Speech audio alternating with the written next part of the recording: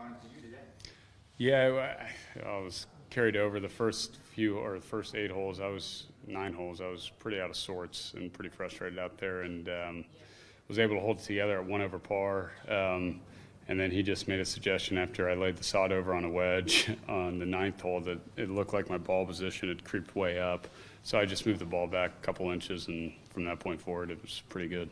Do you change your game plan at all based on where you are on the leaderboard? You kind of waited the last final holes tomorrow to do that. Yeah, we'll see where we're at. Yeah, just play as good as I can, and um, you know, if I need to do something spectacular, I'll try. But you know, I, I just got to play good tomorrow.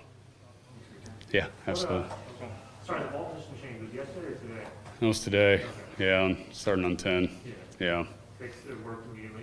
instantly. Yeah, it was the best drive I hit all day. It was on tenth hole and just pounded it. So um, yeah, so it was yeah, it was good. You know, figure something like that out.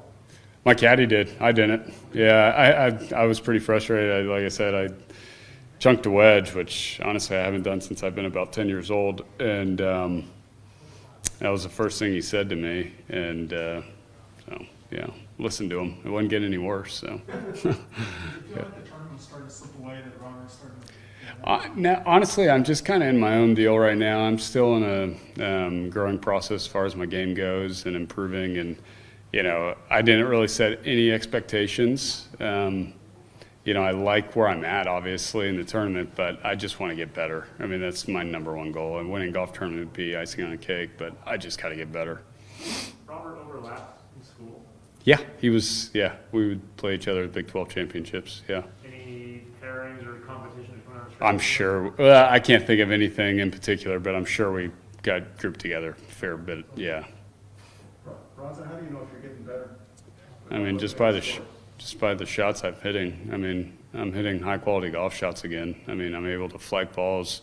I'm able to take, uh, you know, 160 yard six irons. I, have, I haven't been able to do that out here. I mean, everything's had to be full tilt, um, or else it just went haywire.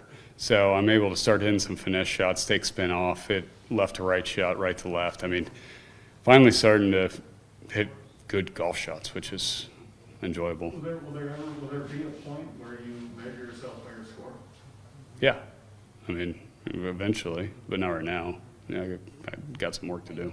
How often does Grant chime in on stuff like that? Not very often, you know, but I guess it was probably pretty apparent. I mean, he he watched me. We had a good two days of practice here, and then the first round was really good, and the second day was pretty good, and um, so yeah, we talk all the time. So I mean, and he was with me when uh, my coach Kevin was out here. So yeah, and that was one thing Kevin was harping on me this week was you got to move the ball position back.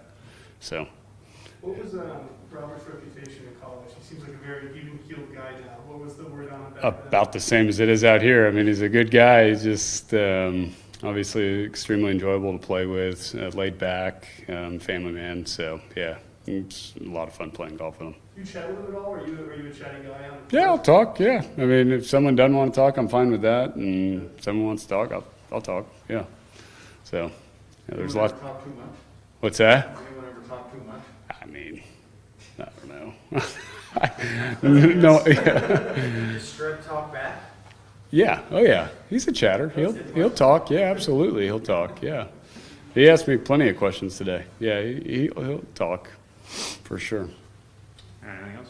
All right, Bronson, thanks for Thanks, coming. guys.